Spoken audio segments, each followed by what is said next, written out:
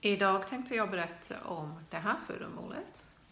Det här kallas för en strigel och den används för att vassa äggen på en operationskniv.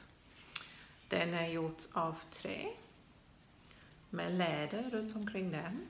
Och här kan ni kanske ana några fjäder i metall.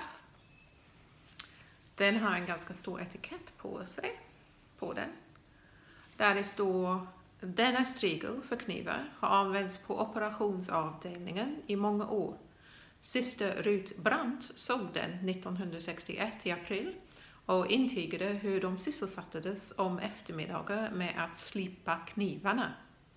Den kom till museet 1958 och då har etikettskrivaren lagt till numera användas endast engångsknivblad. Vi vet att den som skrev etiketten, det var Ingeborg Kassman som är grundare till museet.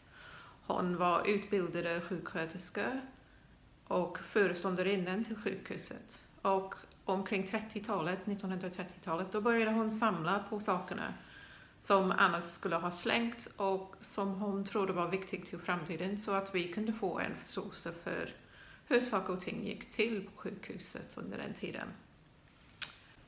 Anledningen till att föremålet har ett etikett påklistrad var att eh, Ingeborg ställde ut allting som hon hade samlat. Och då var det meningen att man kunde läsa direkt på föremålet vad det var för något. Ni ser också att föremålet är märkt med det som vi kallar för SM-numret. Sahlgrenska museet heter det från början. Och med det numret då kan vi kolla i arkivet och leta fram mer information om föremålet. Vi går dit och kollar.